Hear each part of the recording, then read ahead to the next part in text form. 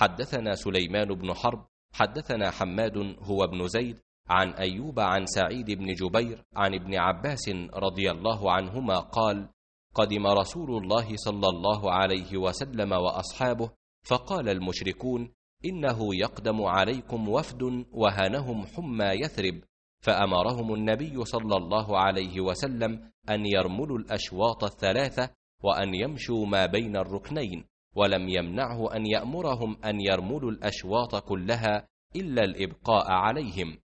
وزاد ابن أبي سلمة عن أيوب عن سعيد بن جبير عن ابن عباس قال لما قدم النبي صلى الله عليه وسلم لعامه الذي استأمن قال ارملوا ليرى المشركون قوتهم والمشركون من قبل قعيقعان